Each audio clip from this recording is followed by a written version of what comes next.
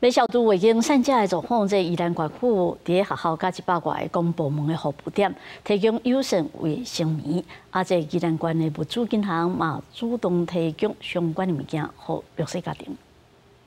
这个查甫人伫咧县府打着卫生棉所处处标奖的所处点，提免费的卫生棉了离开，也未感到解救。宜兰县政府自去年年底开始，伫咧县内十二风景区、三个转运站，也有各中小学、卫生所、地政事务所、户政事务所等一百五十五个公部门服务点，提供优先卫生棉，无分男女拢会让提。民众希望各加设一寡点。我觉得还可以再更广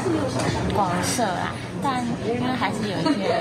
女性的生理期，她其实是没有感觉。对，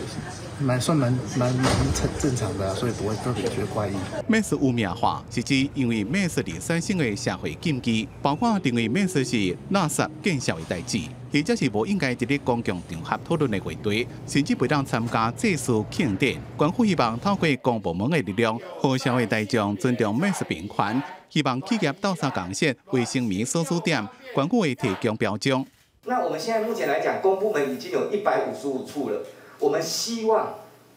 那个民间企业也都都能够来跟进。关府讲，为了要消除美食并行的现象，关府伫咧宜兰县物资银行有传卫生棉等生理用品，县内的弱势家庭若是有需要，由社工评估了，会主动提供福因，希望和经济弱势查某囡仔会当得到优先大鲜的服务。